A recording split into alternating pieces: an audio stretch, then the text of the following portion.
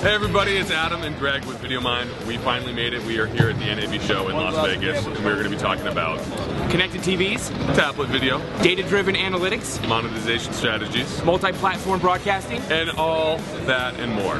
Stay tuned. That's a good question.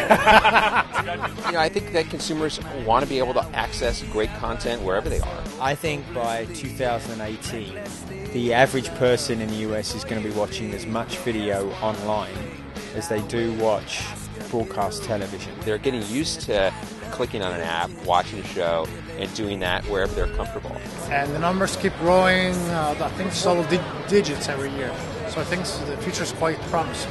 So here we are at the food court at NAB, the center of food court innovation. Broadcasters from all over the world are here to see what's new at Sbarro and also Nathan's Hot Dogs. I mean, I know a lot of conference food is terrible, but uh, this conference is actually known for delivering quality food court items at reasonable prices.